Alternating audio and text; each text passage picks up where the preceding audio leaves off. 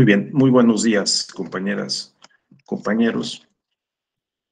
Eh, me da gusto saludarles. Eh, por favor, les encargo eh, encender sus cámaras, ¿verdad? Saludarnos, vernos y saber que estamos aquí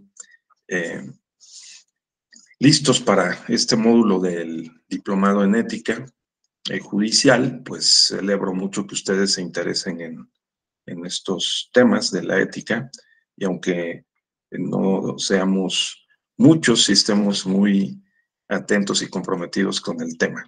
Platíquenme brevemente cómo les ha eh, parecido el diplomado, qué tal han eh, eh, experimentado su inmersión en este tema de la ética, de, seguramente desde diferentes ángulos, ¿verdad, Alison?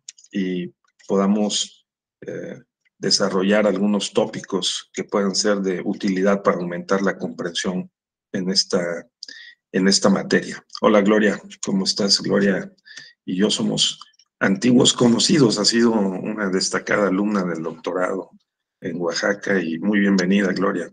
¿Qué tal han aprendido Gloria? Muchísimas gracias. Sí. Sí. Muchísimas gracias, doctor. Este, un gusto siempre escucharlo, eh, un deleite, porque siempre trae ideas nuevas novedosas. Usted siempre está leyendo bastante, entonces siempre es un honor tener clase con usted. Gracias, eso espero. sí. Entonces, eh, muy bien, pues muchas gracias. Eh, bien, lo que vamos a hacer eh, en, este, en este tema que nos ha correspondido, que es un tema desafiante, ¿no? Es la ética en, en la constitución y su interpretación. Es un tema pues muy amplio y ah, va a haber que reducirlo, va a haber que acotarlo cuando los temas o los problemas son muy amplios o muy complejos. Lo más recomendable es reducirlos en sus términos para ir precisando eh, sus contenidos, sus alcances y por lo menos tener un acuerdo sobre lo que vamos a, tratar de, conocer, de explicar, de comprender y de compartir para poder, digamos, aumentar un poquito nuestra comprensión eh, en, estos, en estos temas. Entonces, yo lo que propongo es que, eh, digamos, nos dirijamos a un objetivo que sería simplemente aumentar nuestra comprensión sobre la relación entre la ética eh, y la constitución y, su interpretación. Son tres palabras muy pesadas, ética, constitución e interpretación, y vamos a ver eh, qué podemos hacer con ellas. Eh, en síntesis, la idea sería el que aumentemos nuestra eh, entendimiento, comprensión sobre la relación entre la ética, la, eh, la constitución y su interpretación.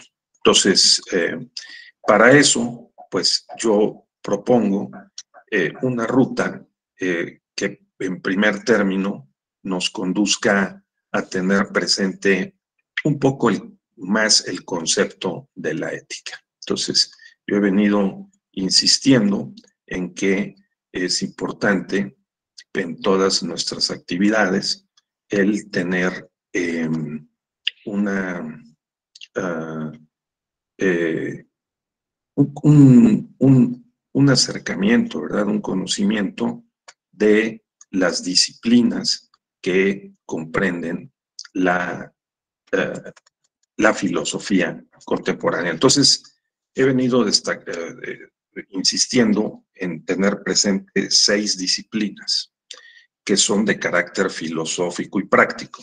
Estaba yo leyendo un libro esta mañana que les recomiendo mucho, pero mucho, eh, para efectos de este diplomado en general y particularmente de la ética.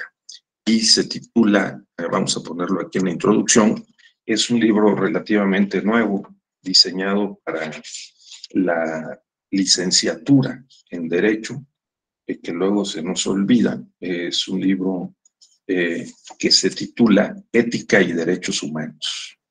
¿sí? Ética y Derechos Humanos de, em, lo voy a poner aquí, em, ética y derechos humanos. Y em, es, son varios autores, pero digamos, la principal es Edith Mariana Zaragoza.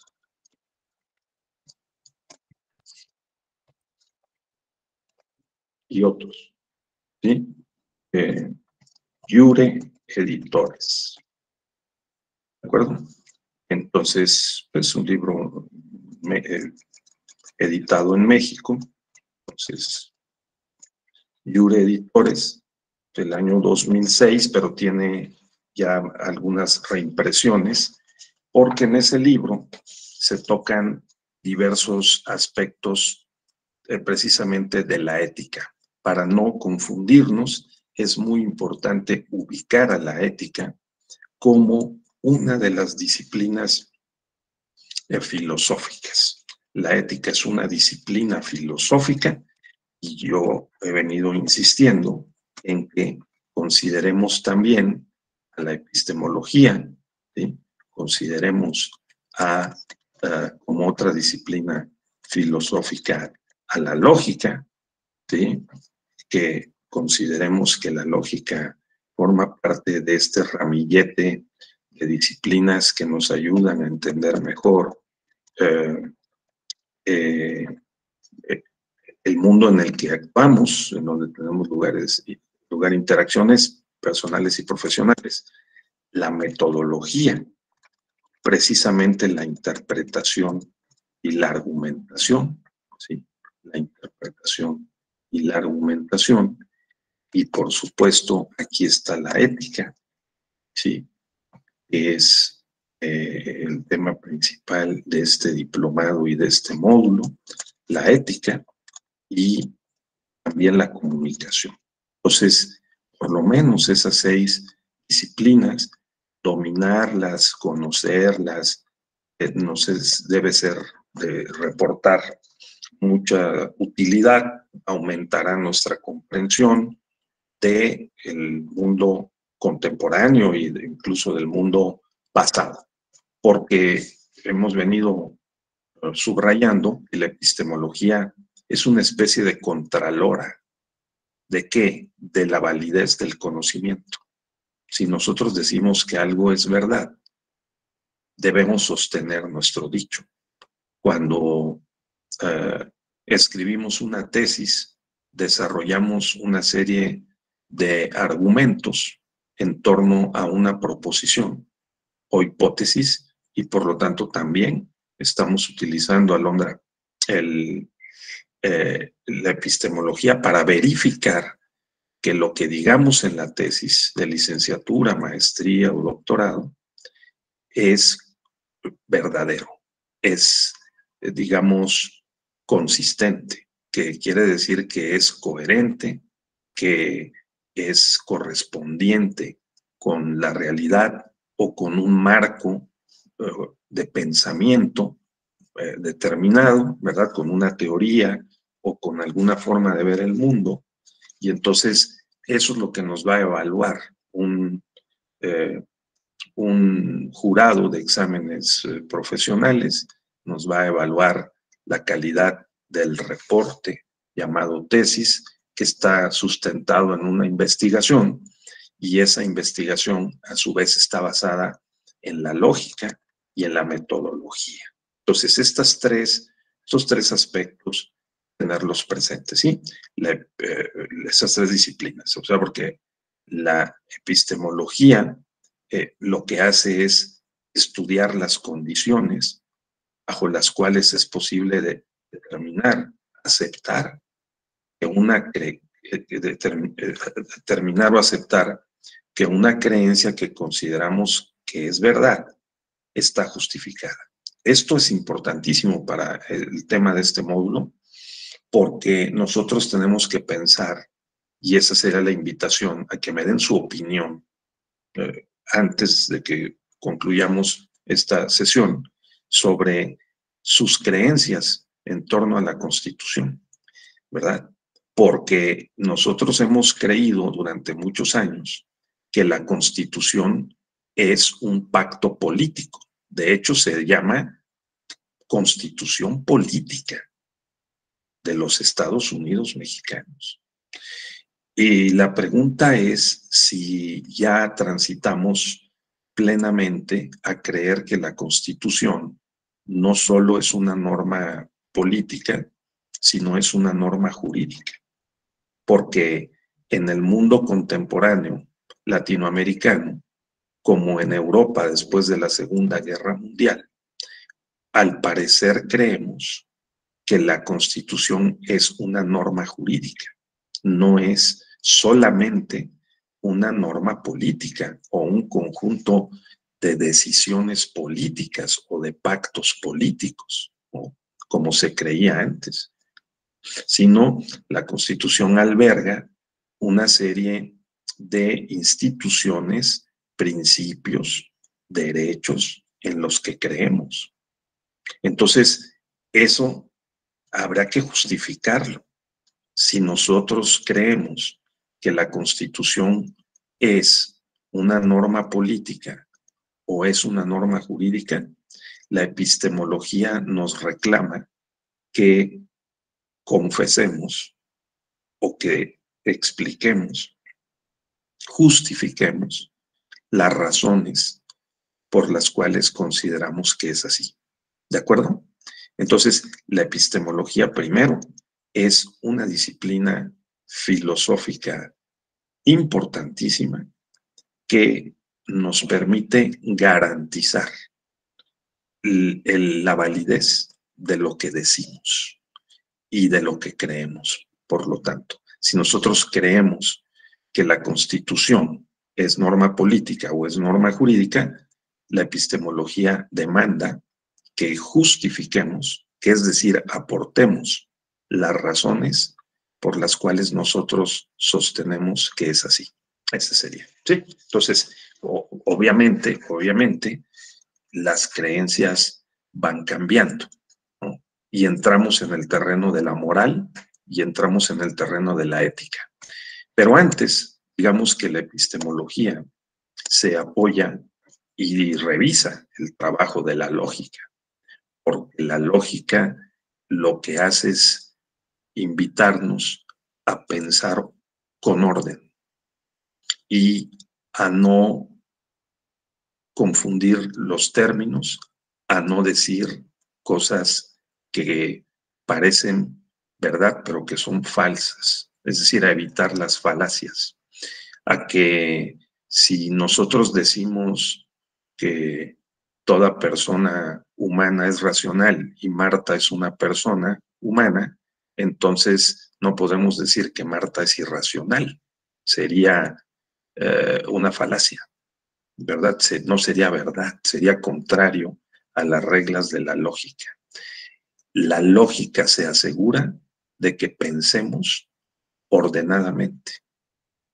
Y desde los silogismos aristotélicos de hace más de dos mil años a nuestros días, la preocupación porque las operaciones mentales que realizamos sean ordenadas ha estado presente en el mundo antiguo, en la Edad Media, en la edad o época moderna y desde luego en nuestros días, en la época contemporánea, también llamada posmoderna.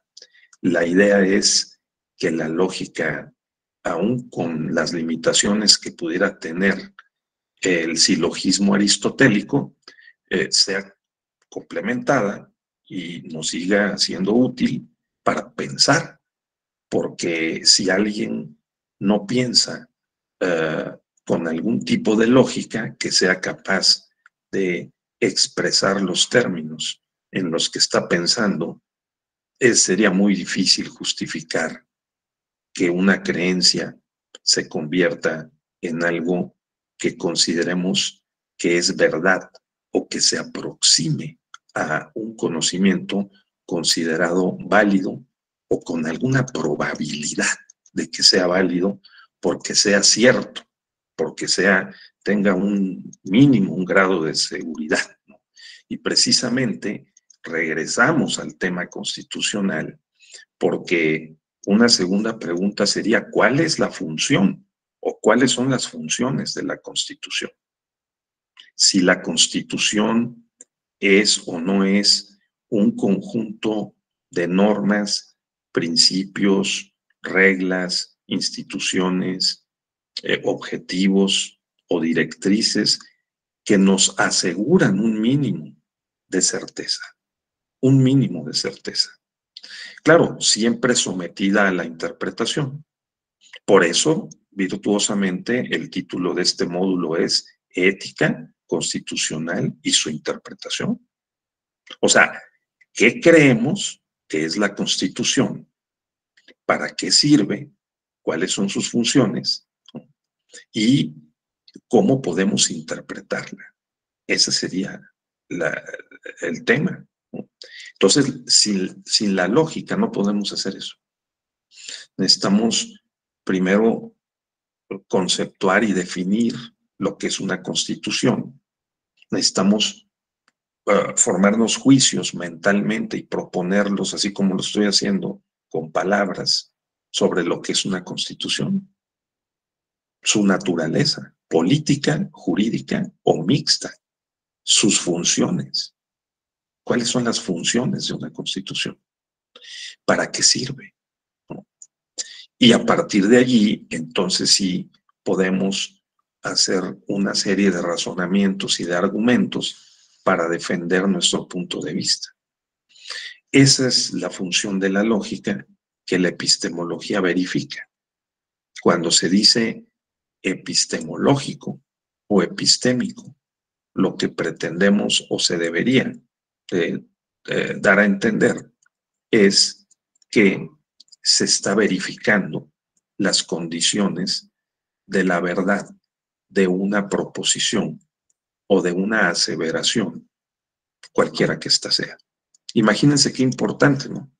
Porque, por ejemplo, Alondra, si nos situamos en el momento del poder constituyente originario, 1823-24, 1835-36, 1843, 1856-57 o 1916-17, es decir, cuando hemos tenido oh, congresos constituyentes, dije por lo menos eh, cinco momentos clave para la constitución de 1824, la de 1836, la de 1843, ¿sí?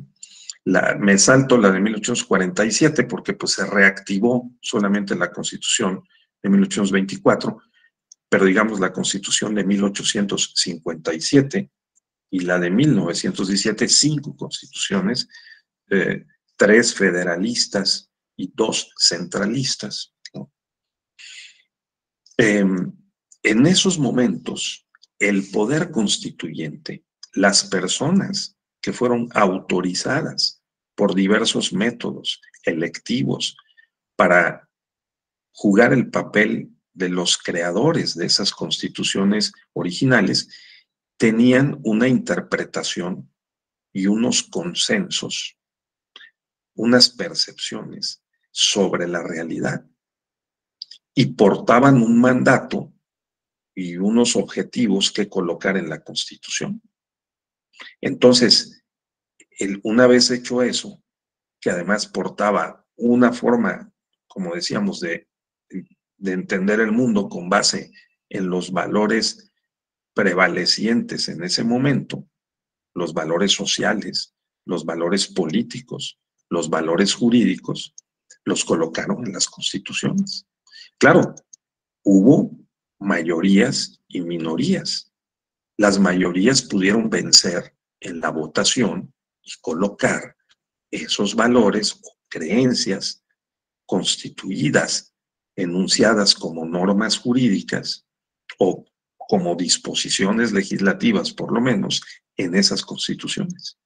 Entonces es muy importante eh, tener presente que lo que nosotros hacemos es, digamos, mm, conceptuar, definir mentalmente, proponer y hacemos decisiones interpretativas. O sea, nosotros asignamos significados a las palabras y a los hechos.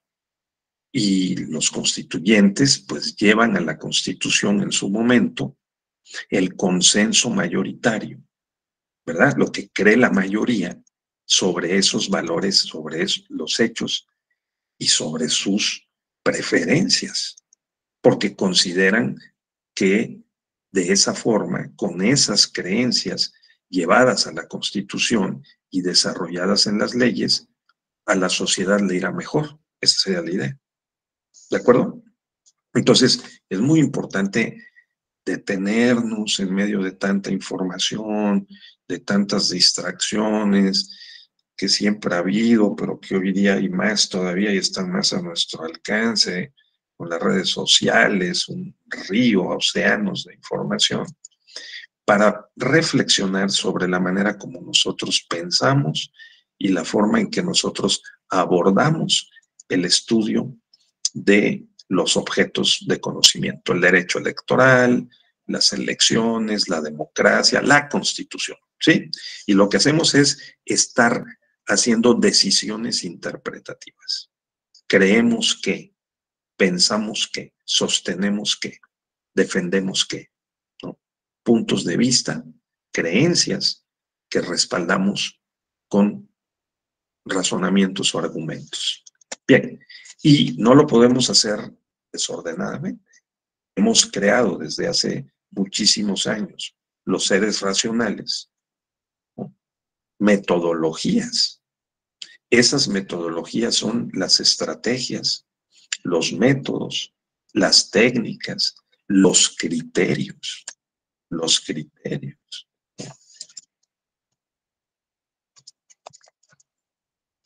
Criterios para producir conocimiento válido. O sea, si yo digo que alguien es culpable, pues estoy proponiendo un juicio. Es una decisión interpretativa. X es culpable. O puedo sostener el agravio es infundado. El agravio es fundado pero inoperante en el ámbito del lenguaje judicial o en el ámbito del lenguaje legislativo. Podemos decir, las instituciones electorales y el derecho electoral y las elecciones en México son muy caras. Tengo que aportar la evidencia de por qué considero que son caras. ¿Bajo qué criterios voy a sostener que son caras, costosas? Y por lo tanto introducir el criterio o el, el objetivo de reducir los costos de la democracia, de la política, de las elecciones y proponer una serie de medidas para lograrlo. Es una forma eh, teórica y práctica de aplicar la lógica y la metodología. Si yo voy a resolver un problema, tengo que diagnosticarlo y plantear las causas del problema para poder proponer las soluciones a ese problema por sus causas y por sus consecuencias. Entonces, la metodología propone no solamente las estrategias, métodos, técnicas de la investigación para producir conocimiento, sino los criterios. Esto es crucial.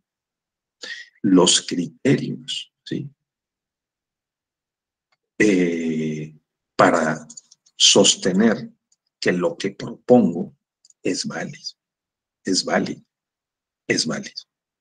Así que si estudiamos las iniciativas de reforma eh, electoral que hay alrededor de 48 o 50 iniciativas en este momento que van a formar parte, si es que se llega a ese punto, del dictamen correspondiente. Ese dictamen legislativo va a tener que glosar cada una de esas iniciativas, encontrar los puntos en común que contengan y hacer un diagnóstico para luego hacer una serie de propuestas. ¿Se aplica la lógica? ¿Se aplica la metodología? Yo estimo que sí. Porque de qué otra manera podríamos, eh, podríamos hacer, ¿verdad? Eh, que eh, em, ¿De qué otra manera podríamos hacer que la epistemología hiciera su trabajo y que la comunidad eh, científica, política, la sociedad mayoritariamente pudiera estar de acuerdo?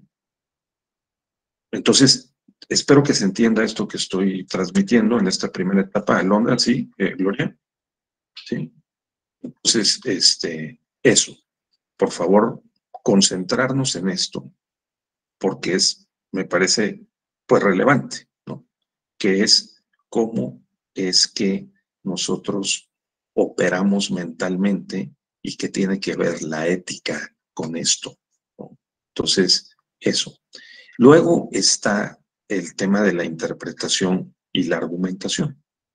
En este caso, la interpretación y la argumentación lo que nos propone son los métodos para justificar precisamente eh, las, las aseveraciones que nosotros realicemos.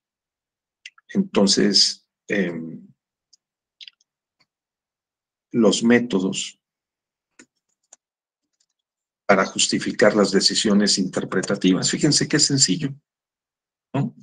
La interpretación y la argumentación, o sea, la hermenéutica.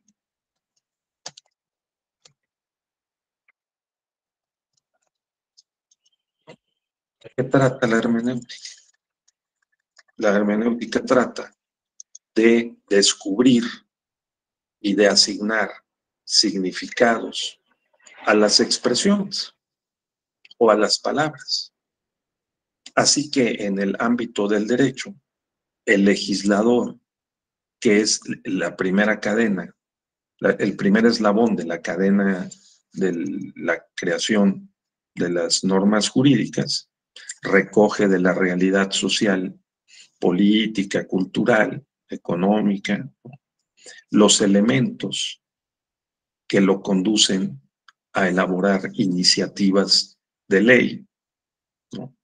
nivel constitucional o secundario, y allí plasma el diagnóstico sobre esa realidad que el electorado además le planteó durante el proceso electoral y lo traduce y lo expresa con palabras en un dictamen legislativo, que es el que se somete a las comisiones y al Pleno del Congreso, digamos, Cámara de Diputados, Cámara de Senadores, para eh, discutirlo y para aprobarlo, el dictamen legislativo.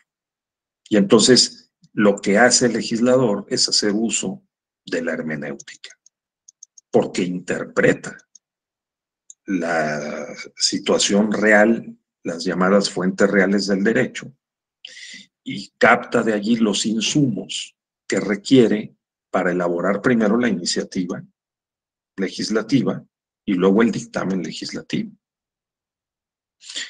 Claro, como hay diferentes ideologías, como hay diferentes posicionamientos en torno a la realidad que se va a normar, a regular, pues hay naturalmente una controversia, divergencia pluralidad de puntos de vista y para eso hemos creado el sistema democrático que permite que en los congresos, pues se dé esa pluralidad que eh, por la vía del principio democrático, que es el voto de la mayoría, simple, absoluta o calificada, pues se puedan esas propuestas de solución jurídica a los problemas sociales ser aprobadas. Entonces, la interpretación y la argumentación están presentes en este primer eslabón de la cadena normativa, vamos a llamarlo así, de la creación de las normas jurídicas. En el momento o en la fase o en la dinámica legislativa, por supuesto. Porque si nosotros somos legisladores o somos asesores de legisladores o somos académicos que estudiamos los procesos constitucionales, pues un proceso constitucional es el proceso legislativo.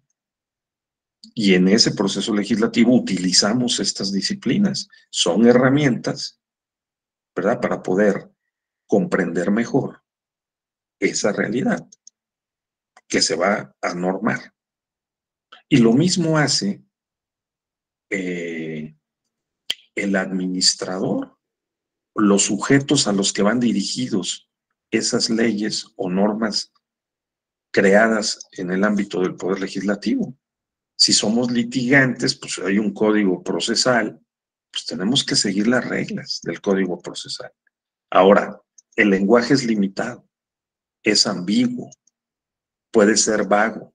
Las oraciones pueden no estar bien escritas en las leyes, en los códigos, en las constituciones, por lo tanto puede haber contradicciones, puede haber lagunas y la interpretación y la argumentación precise, permiten esclarecer esas lagunas, esas contradicciones y resolverlas. Para eso, pues tenemos también métodos, reglas, criterios y pautas para la interpretación y para la argumentación. Interpretar y argumentar no es cualquier ejercicio libre. No, hay también métodos, hay reglas de la interpretación y la argumentación. Y conocer y dominar esos métodos y reglas nos permite una mayor capacidad, habilidad para resolver los problemas interpretativos que están presentes en el lenguaje jurídico, porque este, como todo lenguaje, el lenguaje en general, pues es limitado, tiene sus fronteras. Eh, está cargado de ambigüedades, como ya dije, de vaguedades o de significados diversos. Ni modo, esa es una condición humana. Hay palabras que son incuestionables. Digamos, eh, podríamos decir, pues la palabra em, Tribunal Electoral del Poder Judicial de la Federación, Instituto Nacional Electoral. Pues ya sabemos a qué nos referimos. A ciertas instituciones que están eh, previstas en la Constitución, que tienen ciertas características, ¿no? Pero qué diferente es que, digamos, el principio de certeza, el principio de objetividad, el principio de máxima publicidad el principio de profesionalismo o el principio de independencia, equidad, imparcialidad, legalidad. No, no, no, no. A las cosas ya no son tan sencillas. O que digamos el principio de no discriminación, artículo primero de la Constitución, ¿no? O principio de igualdad, o que digamos pro persona, universalidad, interdependencia, indivisibilidad. las cosas comienzan a complicarse.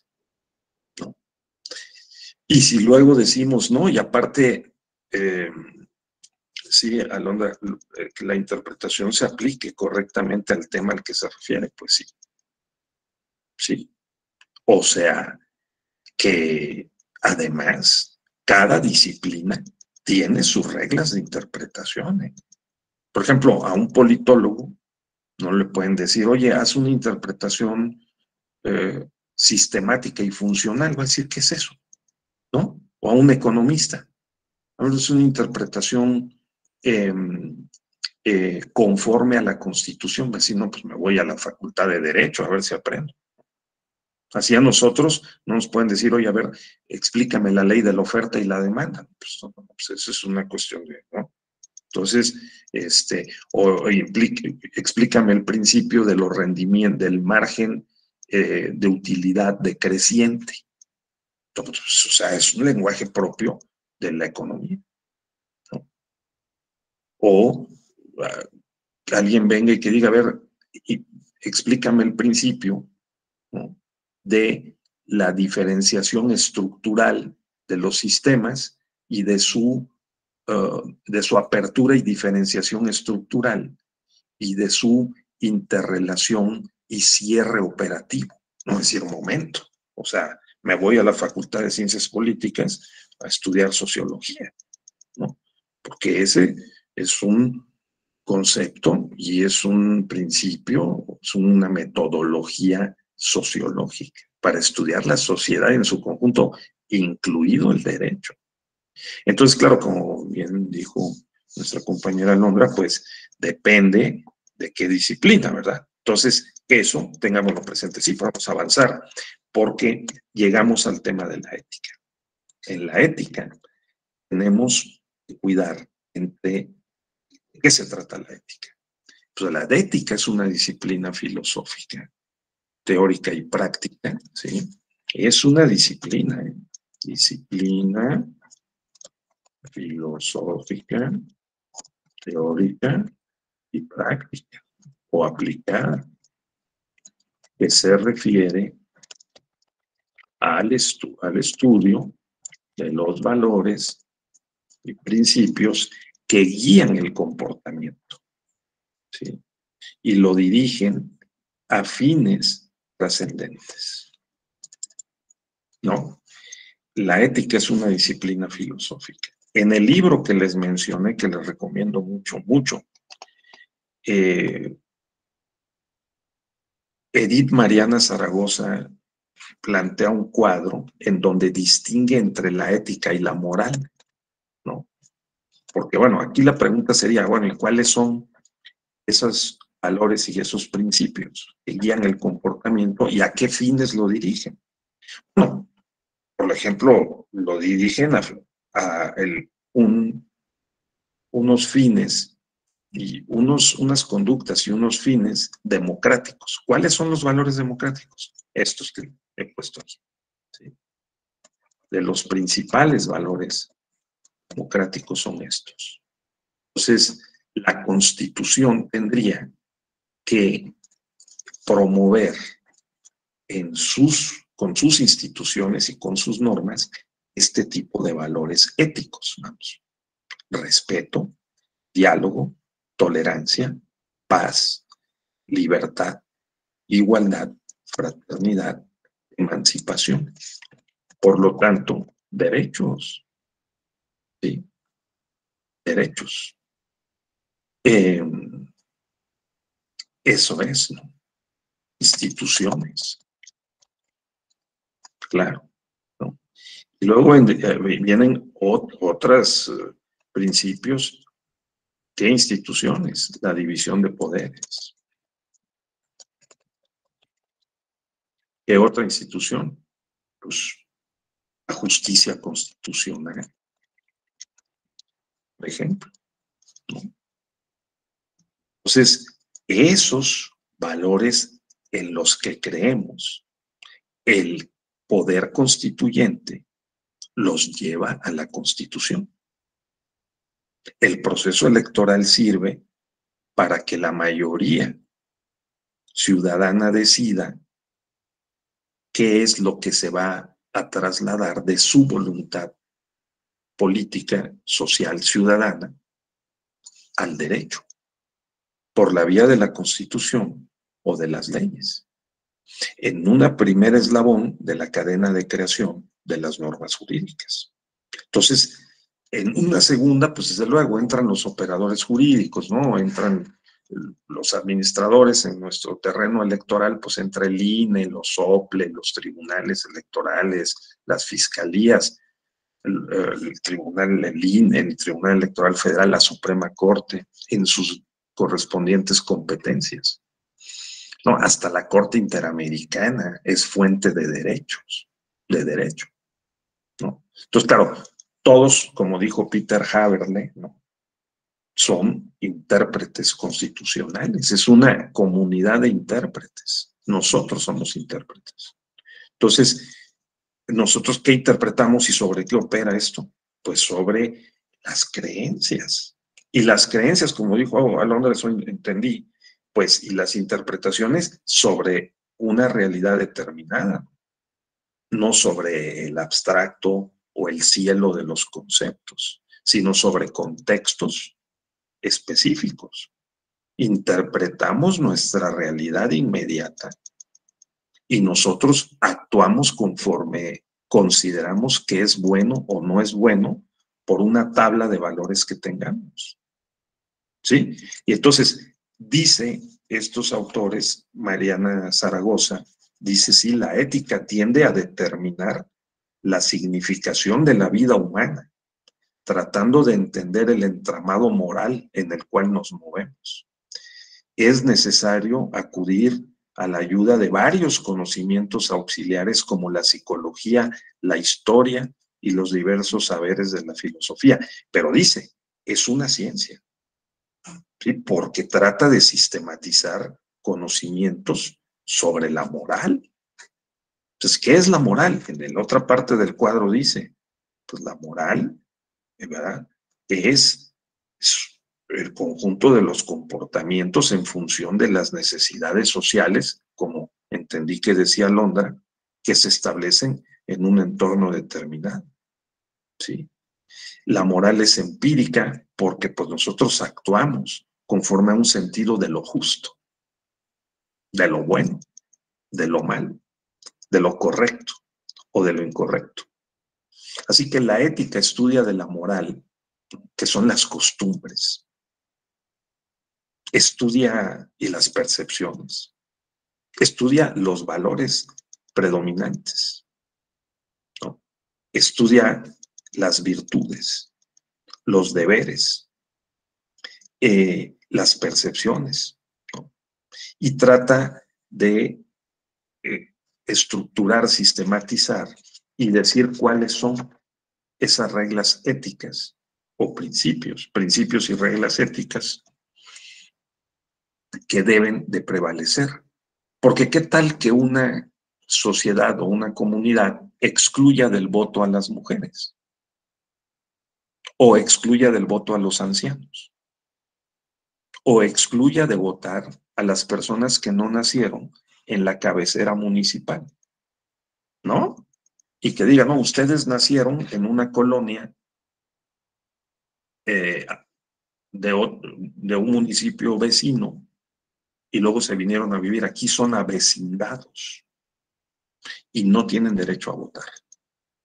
Es un, es un, un comportamiento moralmente, eh, eh, éticamente justificable, esa costumbre. Entonces, así sería la idea de la relación entre la ética y la moral. La moral es propiamente las costumbres son las percepciones, son los comportamientos que la ética estudia como una disciplina filosófica para poder estructurar en un código de valores qué se considera bueno, malo, injusto o injusto, justificable o no justificable para una sociedad o un contexto determinado. Entonces, yo propongo sugiero, compañeras, compañeros, ¿sí? que tengamos presente esta perspectiva que me parece muy correcta de estos autores que hicieron este libro de texto, ¿no? en donde pasan luego a una parte histórica que me interesa mucho por lo que vamos a ver eh, eh, ahora en esta segunda parte de nuestra sesión, de cómo es que las creencias y los valores predominantes van cambiando según las épocas, ¿no? Según determinados eventos que van ocurriendo a lo largo de la historia, en este caso del mundo occidental, y va cambiando la percepción, va cambiando la creencia, porque van también cambiando las necesidades, y van cambiando los comportamientos y las justificaciones sobre lo que consideramos que es bueno o que es malo. Al punto extremo de que hay quien sostiene que en realidad no hay nada bueno o malo, ontológicamente, o sea, eh, eh, el ser en sí, la forma como nosotros somos en sí no es ni buena ni mala, sino que el pensamiento lo hace bueno o malo. Entonces, nosotros le colocamos al mundo real un conjunto de exigencias éticas para poder calificar que los comportamientos son buenos o son malos. Y esos pensamientos, creencias, eh, y digamos, esquema ético para calificar los comportamientos viene dado por las costumbres y por el desarrollo, también el desarrollo de las ideas, de lo que consideramos que es mejor y no peor, porque si no, pues podríamos pensar que es mejor vivir en un estado de naturaleza, que cada quien prevalezca sobre los demás de acuerdo con su fuerza material, riqueza, recursos, y someta a los demás a su imperio. Pero no es el sentido del derecho. El sentido del derecho es justamente lo contrario. El sentido del derecho es establecer las garantías, Para que en la, la interacción social se equilibre el poder de los más fuertes con el de los más débiles. El derecho trata de que los débiles no sean aplastados por los fuertes. Por eso tenemos en la Constitución y en los convenios internacionales, pues los derechos, que son las garantías básicas, escritas, mínimas, y las no escritas, máximas, ¿verdad? que se desprenden de la interpretación de la Constitución y de los convenios internacionales para proteger los derechos. ¿De acuerdo, Alondra? Sí, vamos bien, ¿no? Por ahí va el, camino. Teresa, eh, eh, Hernán, sí, aunque tengan apagada la cámara, nada más sí espero que estén, por favor, este, atentos, ¿no? Entonces, eh, esto es el sentido. La comunicación es precisamente la interacción de expresiones y mensajes para poder concretar entonces esta idea de que tenemos eh, de la eh, eh, de la interpretación, de la, interacción, ¿verdad? entre las personas en la sociedad. Entonces, la comunicación es otro factor clave porque la comunicación nos permite el enviar y recibir mensajes en una eh, interacción social determinada y eso no puede ser cualquier comunicación. O sea, la comunicación también tiene reglas. La comunicación tiene que tener claridad. De otra manera, el mundo se complica todavía más de lo que es complicado. Y para eso sirven estas disciplinas. Entonces, eh, desde la antigüedad hasta nuestros días, en este libro se dice que hay cuatro etapas del pensamiento, fíjense. El pensamiento mítico en la antigüedad, el pensamiento mítico, ¿sí? En donde quienes vivieron en ese tiempo, en el tiempo llamado la antigüedad, egipcia, griega, romana, azteca, tolteca, olmeca, zapoteca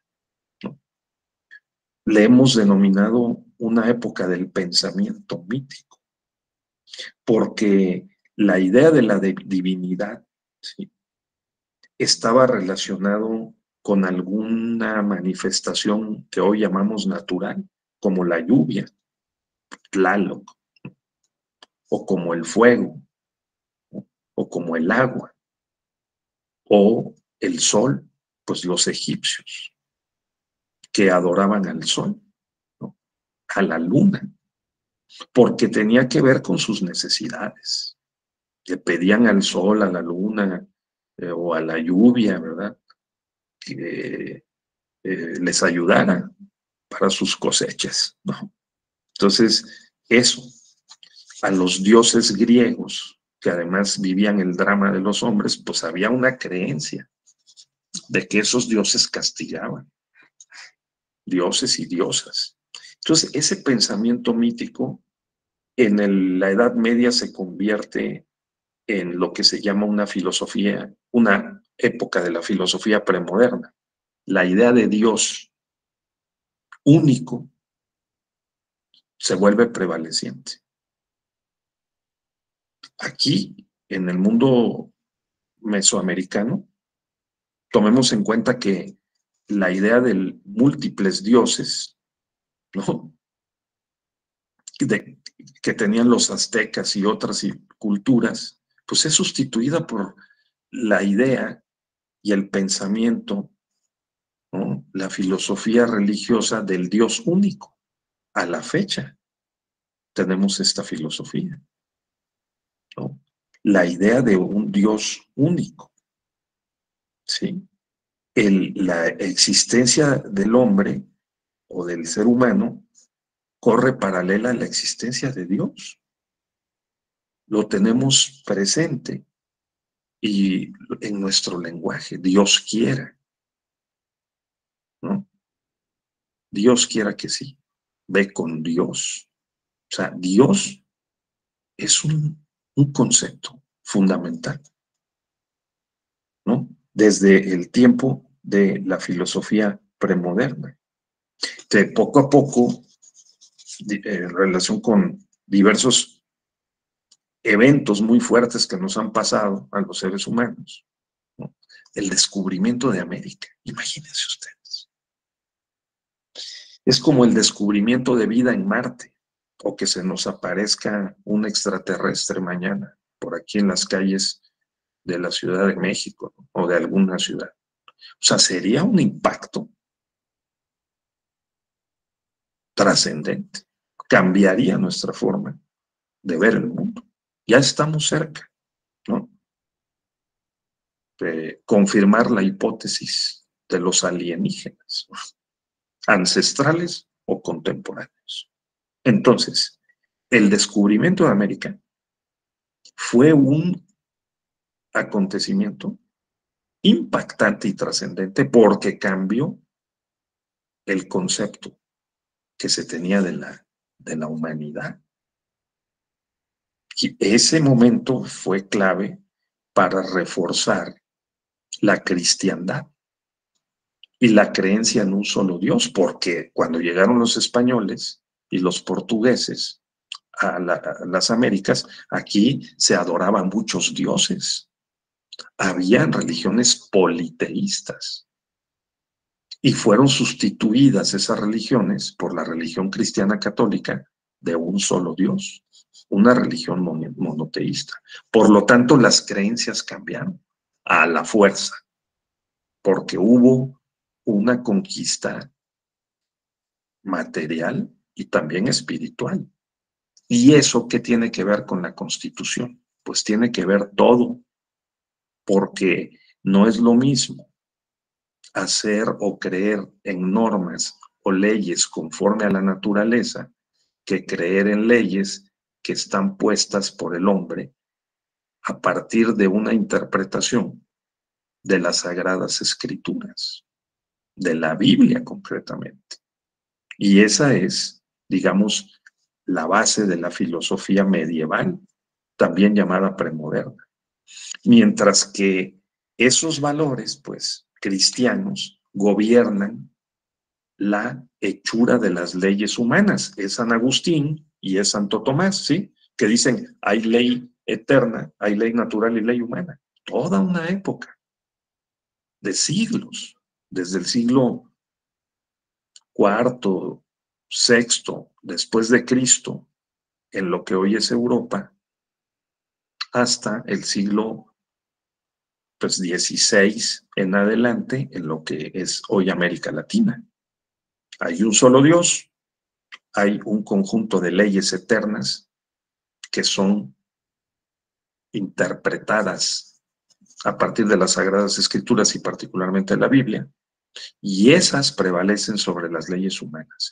Esas son la verdad eterna. ¿Cuáles? Pues no matarás, no robarás, no, no, perjurarás, ¿no? Este, etcétera. ¿sí? Esas son las bases axiológicas o valorativas de las sociedades cristianas. Entonces, el derecho y el derecho constitucional debería trasladar, según esta perspectiva, esos valores en la Constitución.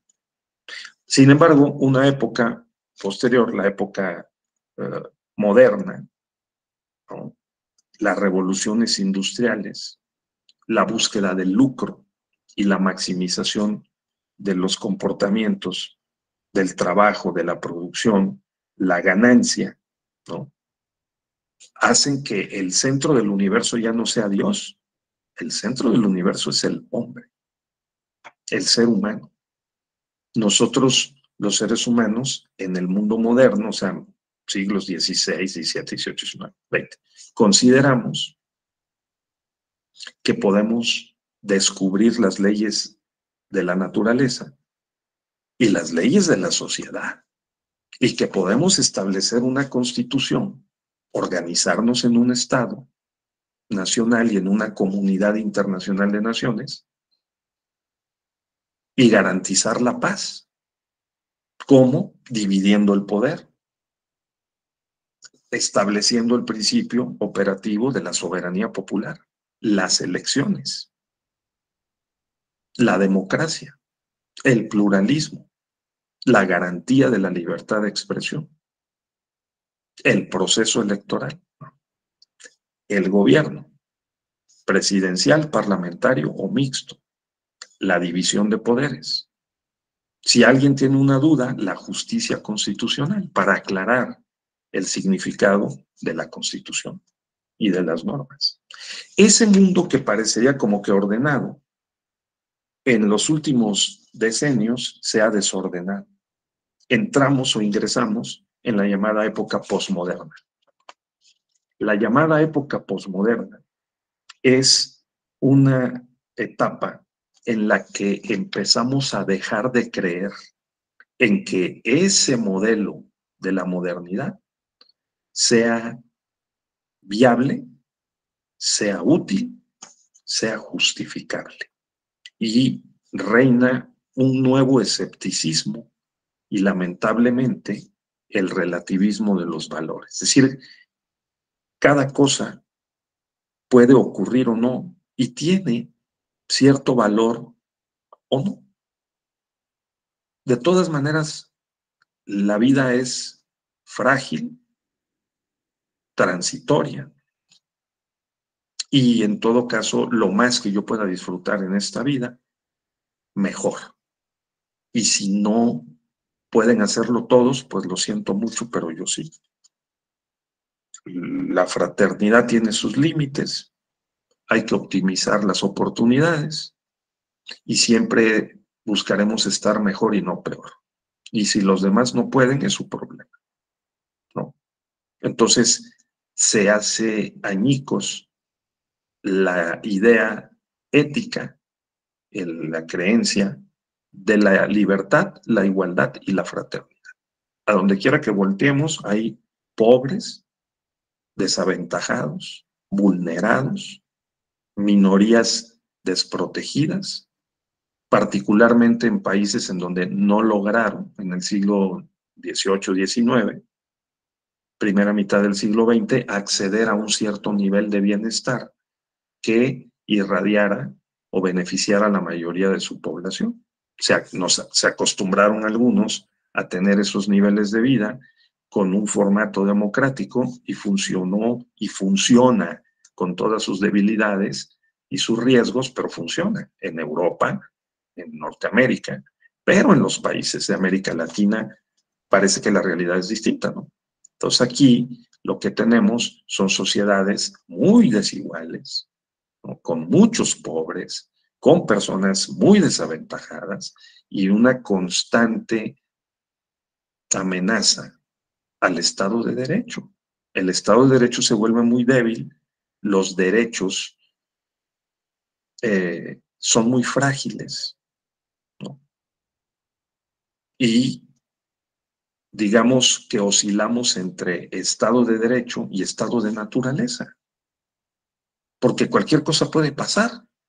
Vean el número de feminicidios diarios en México y en América Latina o las cárceles llenas de maras salvatruchas en El Salvador, que ante una situación tan excepcional, incluso parece justificar en la percepción de la mayoría de los jóvenes ¿eh? del Salvador la reelección de su presidente que está prohibida en la Constitución. Fíjate, Alondra, ¿no? ¿Sí? Teresa. O sea, la reelección del presidente del Salvador, el presidente más joven en la historia del Salvador, Nayib Bukele, que ha dicho hace dos semanas, me presento a la reelección porque la Suprema Corte me otorgó un amparo que establece que yo tengo derecho a la reelección, porque es un derecho fundamental, lo cual no es según la Corte Interamericana, y porque el pueblo, la mayoría, tiene derecho a tenerme en la boleta porque yo tengo un nivel de aceptación y de popularidad superior al 60 o 70%. ¿Qué pensaríamos nosotros de que López Obrador presentara en 2023, 24, su solicitud para reelegirse, para ser candidato a la presidencia de la República? ¿Qué haría la sala superior? Si alguien presenta o si él presenta un juicio de la ciudadanía y dice, tengo 60-70% de aprobación, díganme por qué razones no debo estar en la boleta. Si la gente quiere que yo esté. Por ejemplo, aunque la constitución diga que no. A ver, Mackenzie. Y yo aprovecho para cambiar la lámina porque voy a poner otra. Adelante, por favor.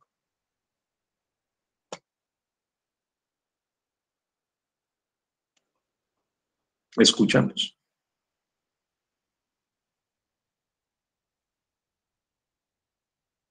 Sí, quería participar, eh, eh, Mackenzie, o, no. Pero sí se entiende cuál es el problema, ¿no? El problema es que la moral y la ética que estudia la moral puede ser sincrónica o no con lo que hemos colocado en la Constitución.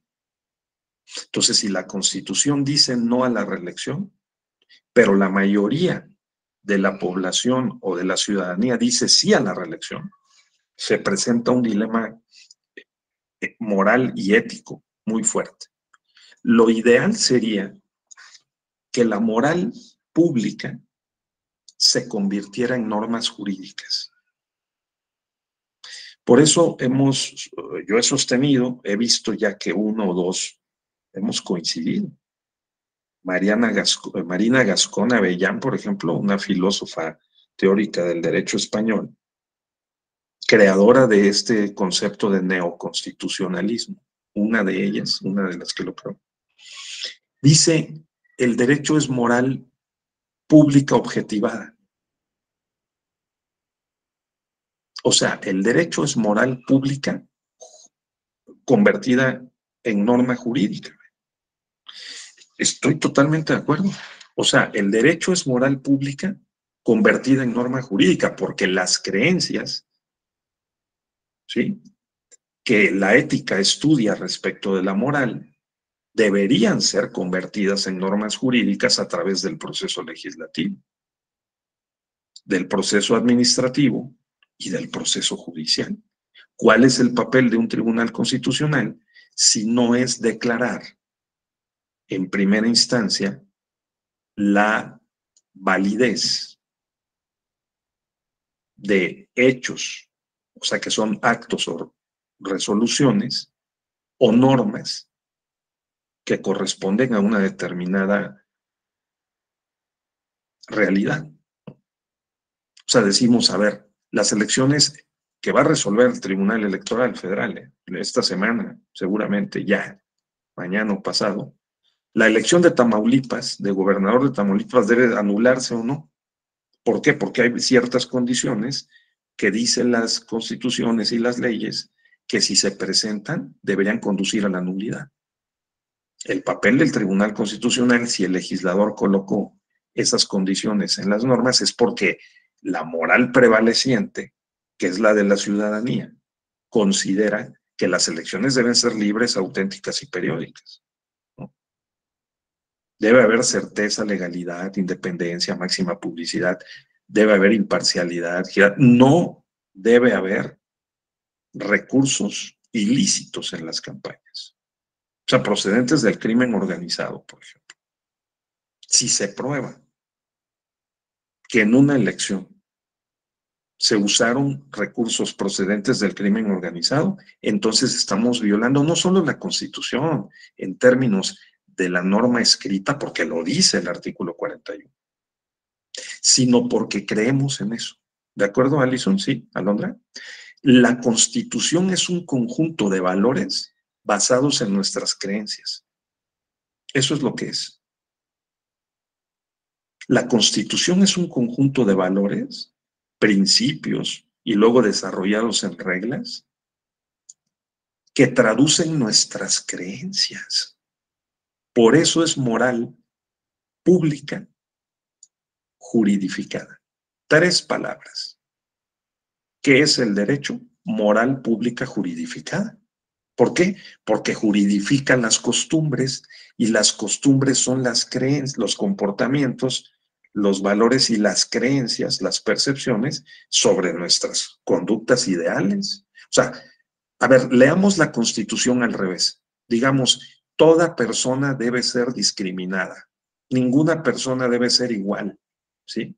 La constitución debe ser interpretada no pro derechos, sino contra derechos. Sí, los derechos no, no son universales, sino que son todos particularizados. O sea, ¿no? O dijéramos, toda ley se puede aplicar retroactivamente. Se pueden establecer tribunales posteriores al hecho delictivo y juzgar a las personas con leyes especiales. Toda autoridad puede entrar al domicilio, eh, eh, hurgar en los papeles, posesiones, hacer actos de molestia o de privación de los derechos de los demás, sin mandamiento escrito de ninguna autoridad competente, no es necesario fundar ni motivar ninguna causa legal del procedimiento. ¿Qué les parece? ¿Sí? Además, no importa si no se usan métodos de interpretación, ¿sí? Con que se acuda a la revelación, a un sueño o a un deseo intenso, se justifica eh, eh, eh, este, privar de sus derechos o hacer actos de molestia. ¿no? Las elecciones pueden ser no libres, sino coaccionadas. ¿sí? No auténticas, sino falsas y fraudulentas, y no periódicas, sino cada vez que se nos antoje. ¿No? ¿De qué te parecería, Alison? ¿No? Las elecciones pueden ser no ciertas, o sea, que sean dudosas, que no sean apegadas a la legalidad. A ver, ese mundo sería un mundo constitucional. No, no, no sería un mundo constitucional, porque no corresponde a nuestras creencias. Nosotros creemos que las elecciones deben ser lo contrario y que la sociedad se debe de organizar y funcionar conforme a esos otros principios que están en la Constitución y en todas las constituciones latinoamericanas. Tienen un catálogo de derechos, tienen una forma de la división de poderes y una forma de los llamados procesos constitucionales que incluye la justicia constitucional, que son los medios o remedios preventivos o sancionatorios para poder limitar las conductas y hacer que prevalezca el principio democrático, que es lo que la mayoría creemos. votamos en favor de unos partidos y candidatos que lleven al proceso legislativo nuestras creencias. Así es, ¿no? O sea, creemos en lo que plantean Va por México, o creemos en lo que plantea Morena, o creemos en lo que plantea Movimiento Ciudadano, ¿no? Y eso lo tienen que llevar a las leyes. O sea, a ver, Morena nos dijo que los soldados tenían que irse a sus cuarteles. Al asumir el poder, encuentran que hay una situación muy grave de inseguridad y entonces dicen, no, en cinco años se van a los cuarteles. En cinco años, las Fuerzas Armadas ya no van a estar presentes en las actividades de seguridad pública, reservadas a la policía que debe ser civil. Se acerca el vencimiento de esos cinco años y la situación no está mejor, sino que para algunos está peor. Y toda la estrategia de ir fortaleciendo la base social, entregando subsidios de manera directa, a las personas que lo reciben. ¿no? En una tarjeta reciben 3.500 pesos. Muchachos, que ayer el doctor José Narro publicó, ex rector de UNAM, publicó un artículo fundamental en el Universal, hablando de los ninis, quienes ni estudian ni trabajan. Un concepto creado en Europa, eh, en Inglaterra, y que trajimos a México de otros países de América Latina, esas personas que ni estudian ni trabajan, que son jóvenes, o sea, no tienen más opción que el crimen o el suicidio o la depresión estructural. O sea, ¿qué hacemos? Porque, no sé si lo saben, Gloria sabe bastante de esto, ¿no, Gloria Cruz? Porque un joven que trabaja en el empieza a trabajar en el crimen organizado, un soplón gana 5 mil pesos mensuales. Alguien que está en la entrada de eh, un pueblo o de una ciudad y que avisa quién entró y quién salió. ¿Sí? Para efecto de planear ejecutar algún asalto, algún secuestro. Esa persona gana 5 mil pesos. Eso es lo que gana un taxista Alison, ¿sí? Entonces, la pregunta aquí es, ¿qué es la constitución? Porque tenemos un problema muy serio. Ahora la propuesta es extender otros cuatro años hasta 2029 el que la Guardia Nacional, que debería ser de mando civil, sea de mando militar. ¿No? ¿Por qué? Porque la situación es tan complicada y difícil que se requiere consolidar la presencia de la Guardia Nacional, ¿no? Y, eh, digamos, la pregunta es, ¿eso es lo que queremos? ¿Quién lo quiere o quién no lo quiere?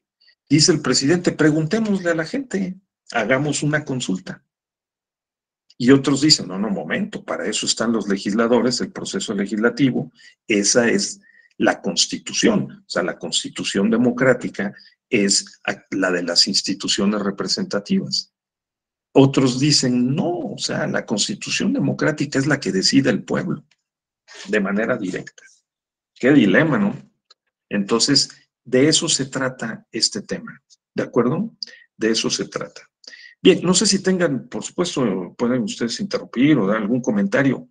¿Están ustedes de acuerdo en que la, el derecho es moral pública juridificada, o sea que la constitución anida valores, principios, creencias que tratamos de practicar y de que en la medida en que esas normas que están en la constitución se cumplan, entonces serán sincrónicas, digamos, con lo que creemos o en la Constitución habrá contenidos en los que no creemos. Porque parecería que hay contenidos en los que creemos, como los que he mencionado. Entonces, ¿cuál es el problema?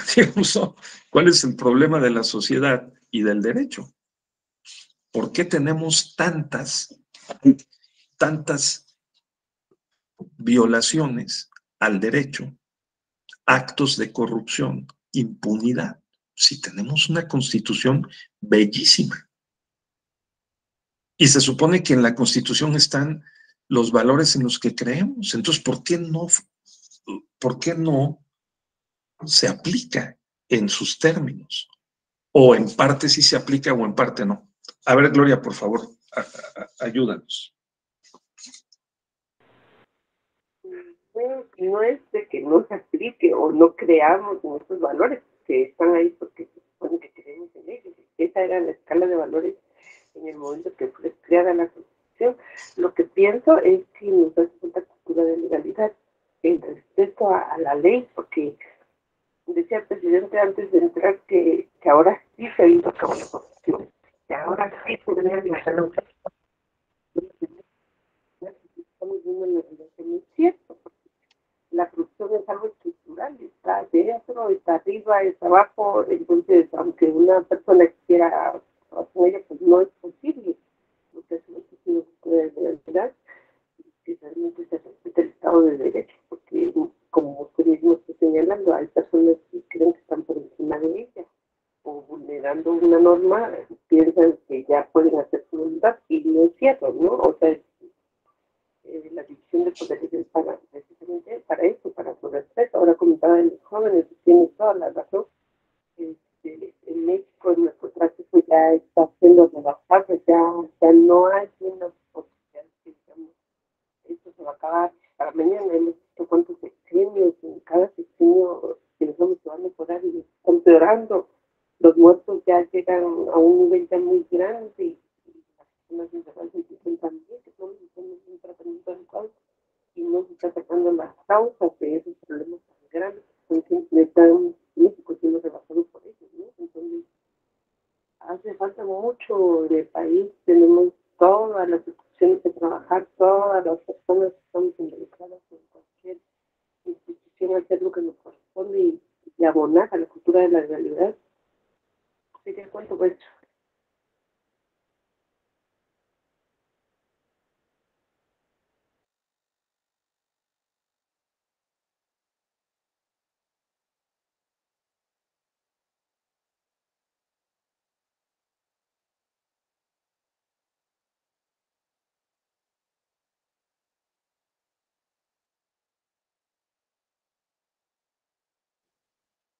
Perdón, tuve un problema técnico, pero aquí estoy, de regreso. Entonces, Gloria, el problema, ¿sí me escuchan? Sí. El problema es un problema político, social, de que hay momentos en que las condiciones eran unas y se colocaron esas normas ahí, y de repente las condiciones son otras y ya no se pueden aplicar esas normas. Esa es una idea de las que estabas mencionando. ¿Sí? no sería tanto que esas ideas ya no se pueden aplicar, sino habría que adecuarlas o no sé, ya a unas realidades más actuales, porque esas normas están siendo rebasadas. Eh, por ejemplo, el 18 constitucional que habla sobre la red artificial, en su momento a lo mejor esa era una posibilidad con la cual se podría solucionar la red en México, pero en el momento estamos viendo que está siendo rebasada y que no es posible abonar a ese problema, solucionarlo de esa manera, como dice el 18 constitucional, no, no es cierto en la práctica una realidad, pues. Entonces, sí hay muchos factores, demasiados factores que hacen que se rompa. Pues, que, que una norma, pues no la veamos en una realidad posible. Muy bien. A ver qué opinan, compañeros. Eh, Teresa. ¿Qué opina? Alondra. ¿Sí, ¿Están nuestras creencias y valores en la Constitución? Si lo están, ¿por qué no se, por qué, por qué no se cumplen? ¿Por qué decimos que la Constitución es la más violada de todas las normas y ese tipo de expresiones? ¿no?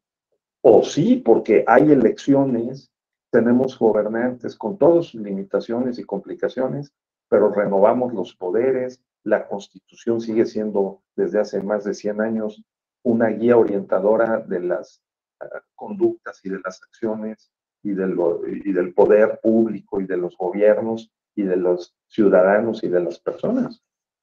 ¿O no? A ver, a Londres. ¿No? No, te estamos escuchando.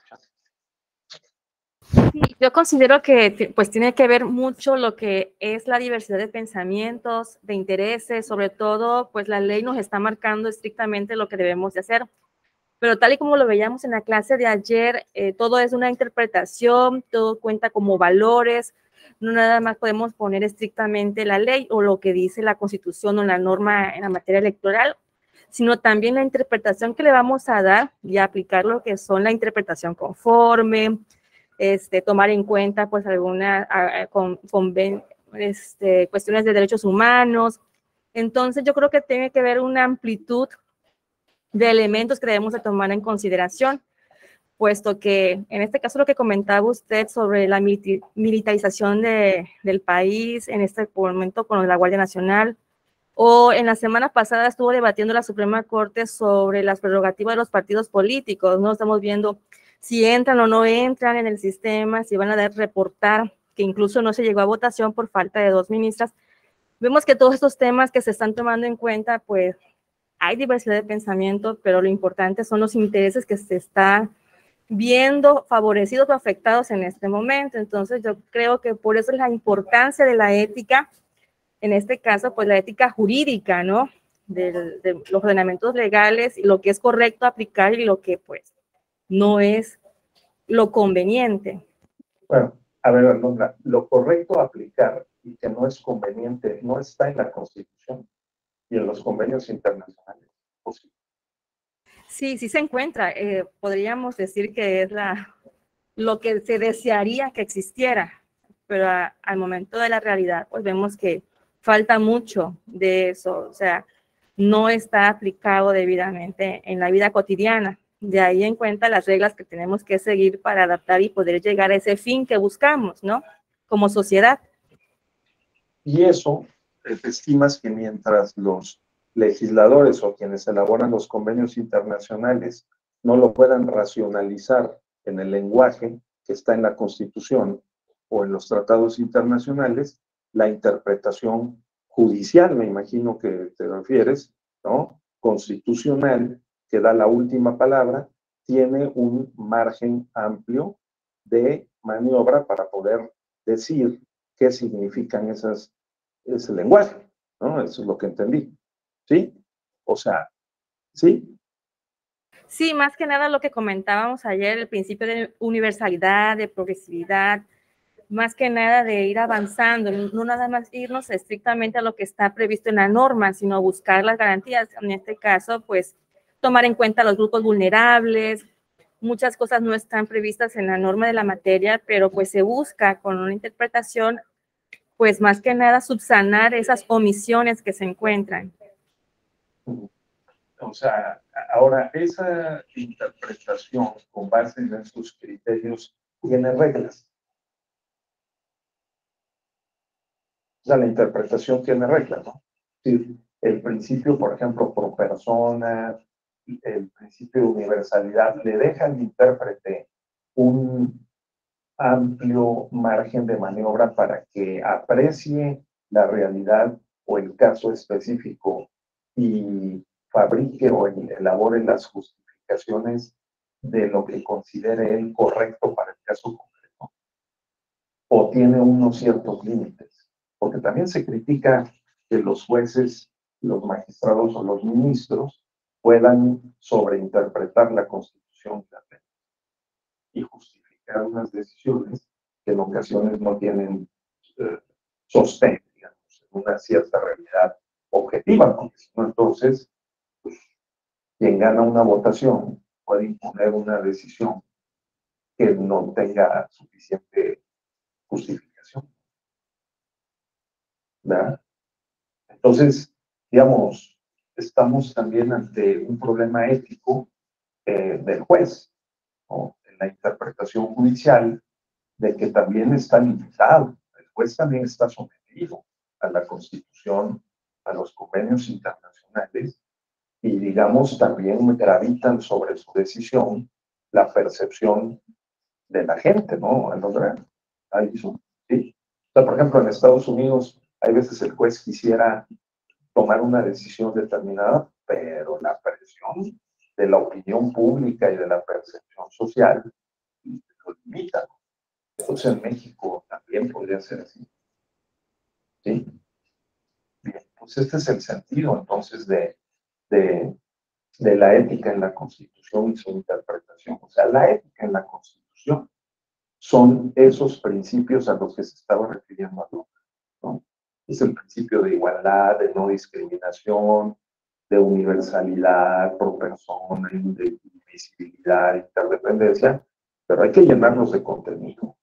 Y esos contenidos se dan precisamente a partir o de un acto legislativo que racionaliza cómo interpretar y cuál es el alcance con los términos generales del significado de esas palabras, o lo hace el Poder Judicial, en última instancia el Tribunal Constitucional, la Sala Superior, la Suprema Corte, que determina para el caso concreto cuál es el significado y el alcance de esos criterios, vamos a decirles, o principios interpretativos que entraron a la Constitución de México en 2011, con la reforma de 2011 de derechos humanos. Entonces, compartimos la idea, el punto de vista de que hoy por hoy la Constitución, la democracia y los derechos son prácticamente lo mismo, son equivalentes.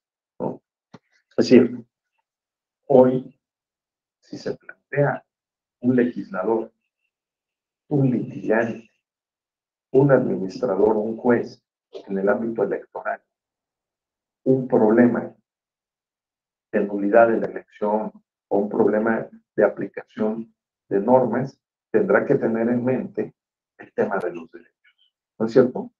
El tema de los derechos fundamentales, la participación política, la integración de la representación política y el que funcione un sistema en favor de los derechos. Esa es la idea. Y ya lo sabemos. Eh, eh, se ha hecho eh, carta de naturalización el decir que debemos de beneficiar a los más débiles y a los vulnerables. Por, lo cual existe toda una línea jurisprudencial americana, mexicana, nacional, en favor de los de las personas en condición de vulnerabilidad. Esa es la idea, ¿verdad? Entonces, muy bien. Eh, ah, no sé si tengan ustedes algún otro comentario, compañeros, para ir cerrando nuestra sesión. Alison, Juan José, ¿algún comentario? Muy bien. Yo concluiría la sesión en términos de que, digamos, la, eh, la ética en la Constitución y su interpretación son los, equivale a las a los principios que juridifican, que trasladan al sistema jurídico los valores y las creencias de la sociedad. plural, pero mayoritario. O sea, para eso sirve el sistema electoral, para trasladar a la legislación. Eh, y a su verificación y su operación por parte, entre otros, del Tribunal Constitucional, o sea, del Tribunal Electoral Federal, las creencias y los valores de la sociedad mayoritaria. Que les quiero decir que le impone a las minorías esos valores. Le imponemos a los pueblos y sus comunidades indígenas nuestros valores de la sociedad mayoritaria. Le imponemos a las mujeres los valores de la sociedad que cree que es más, digamos, patriarcal y con un sentido de los valores eh, masculinos, el modelo de sociedad. Le imponemos a, las, a los migrantes los valores de la sociedad mayoritaria. ¿Cómo poder equilibrar esta relación con el derecho, con las garantías y los principios que ordenan que hay que proteger los derechos no solo de esa mayoría, que conforme al principio democrático gana las elecciones e impone unos valores, sino también de las minorías que padecen el proceso social, económico, político y que tienen que ser reivindicadas para mantener el principio supremo de la democracia, que es la paz. Porque sin paz pues no puede haber democracia. Una sociedad en guerra, en conflicto, ¿no? Este, no es una sociedad pacífica y por lo menos tiene vulnerada una de sus facetas de la democracia, que es eh, uno de sus valores democráticos, que es el respeto, la tolerancia, la, eh, pues la solidaridad o la fraternidad. En una sociedad en conflicto violento, conflicto siempre habrá, pero casi, digamos, en guerra, pues no se puede sostener que tenga un, una constitución normalizada, ¿no? Y en eso estamos. No solo en México, ¿eh? en América Latina, en general unos países más y otros menos, y de aquí, digamos, la crisis del Estado llamado de derecho constitucional y este momento de recambio, también llamado posmoderno, en el que hay dudas sobre cuál puede ser la mejor solución o las mejores soluciones jurídicas, institucionales, filosóficas, éticas a una problemática, pues que no teníamos hace 30 años y que hoy sí tenemos. Entonces, Em, en fin, no, es para amargar la semana, pero sí para poner sobre la mesa pues, una pintura, digamos, realista, porque con toda la tecnología de la interpretación constitucional a través de los tribunales, que resuelven casos concretos, la mayoría de la sociedad, 70 millones de mexicanos, están viviendo con algún tipo de carencia este, de dinero, de comida, de vivienda, de salud, de educación o de servicios públicos en su casa. Entonces, la pregunta es si el modelo constitucional que hemos establecido y que creemos en él está funcionando suficientemente o apenas necesariamente. Un poco sería la interrogante y el planteamiento final de esta sesión, compañeras, compañeros. Sí. Eh, esperando que eh, pues sigan ustedes eh, disfrutando de, este diplomado. Creo que tenemos más adelante por ahí una o dos sesiones en las que nos vamos a encontrar. Si es así, pues ya seguiremos conversando sobre este y otros temas. Muchas gracias. muy buenos días, que estén muy bien. Gracias, maestra Kenia. Hasta luego.